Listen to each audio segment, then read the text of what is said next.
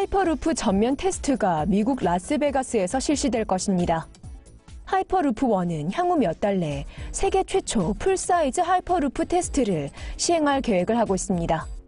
하이퍼루프 1은 지난 1월 첫째 주 향후 세 달 내로 미국 라스베가스 아펙스 공업단지에서 전면 실험을 시행할 계획이라고 발표했습니다.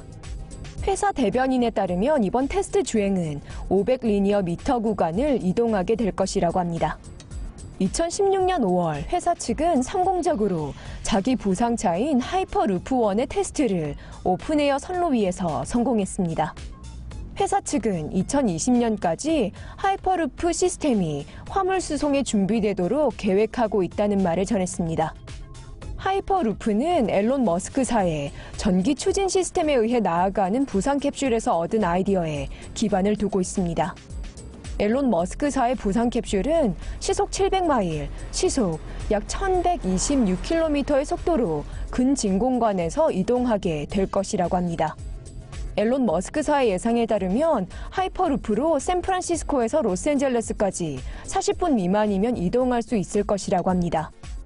하이퍼루프 원 측은 전면 주행 실험을 거친 뒤 튜브를 몇 킬로미터 더 확장할 계획이라고 합니다.